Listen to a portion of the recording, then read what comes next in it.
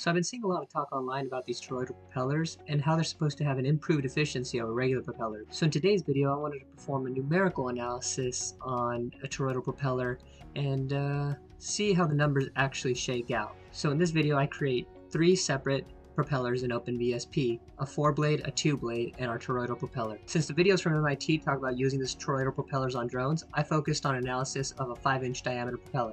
Since this is a low Reynolds number application, I somewhat eyeballed the airfoil to just have some camber and wasn't too exact about that.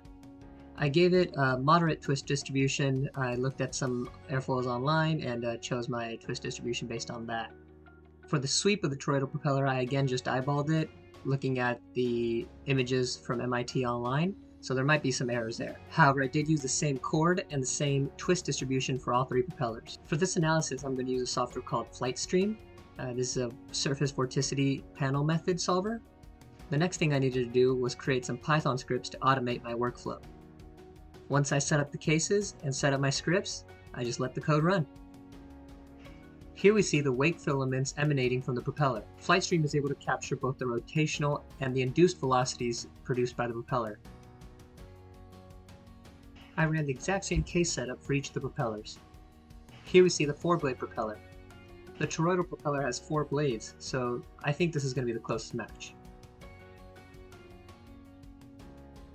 And finally we see a pretty cool analysis of the toroidal propeller. It's cool to see how the wake filaments come off of the trailing edge.